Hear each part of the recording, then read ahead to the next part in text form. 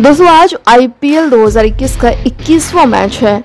आज बता दें कि अहमदाबाद में पंजाब किंग्स का सामना कोलकाता नाइट राइडर्स से हो रहा है।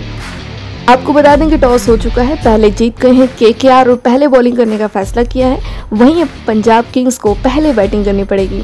बता दें कि तीन मैचों में हार के क्रम को तोड़ने के बाद पंजाब की टीम कोलकाता के खिलाफ जीत की लय बरकरार रखने की कोशिश करेगी।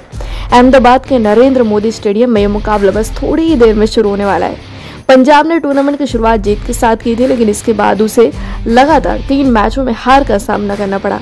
टीम हालाँकि शुक्रवार को पिछले चैंपियन मुंबई इंडियंस को नौ विकेट से हराकर हार के क्रम को तोड़ने में सफल रही। टीम अब के के खिलाफ जीत दर्ज करने उतरेगी, जो अपने पिछले चार मैच गंवा चुकी है। अंक तालिका में पंजाब पाँचवें स्थान पर है। जबकि कोलकाता सबसे नीचे है। तो दोस्तों कमेंट बॉक्स में आप ज़रूर बताएँगे आज आज के मैच में कौन जीतने वाला है पंजाब किंग्स या फिर के और अगर आप भी आईपीएल के फ़ैन हो तो इस वीडियो को लाइक ज़रूर करें।